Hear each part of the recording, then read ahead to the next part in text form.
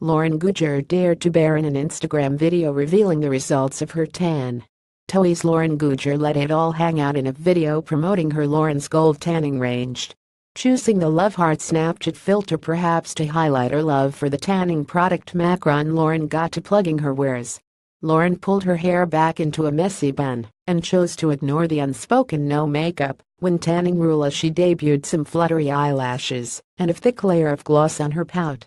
Instagram Lauren Goodger revealing all Lauren speaks to her followers the video has already been viewed over 52k times and her 778k followers flocked to Lauren Goodger's Instagram page to post their thoughts. One fan commented you're so amazing while another said I love this product. Instagram Lauren Goodger fluttery lashes Lauren bats her lashes Lauren Goodger sizzles in these super sexy shots. From flaunting her body on holiday in Dubai to stripping off for a raunchy lingerie shoot, there's nothing stopping this former TOWIE babe. Instagram Lauren Goodger looking hot one commenter even went so far as to say wife material. You go girl.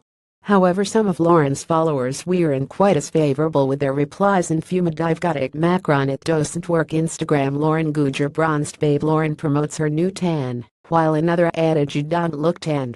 In the video, Lauren's plump pout also sparked questions after having her lip fillers removed to go back to natural after having them inflated for five years. Speaking about having them dissolved at the time, Lauren said she felt liberated. Related articles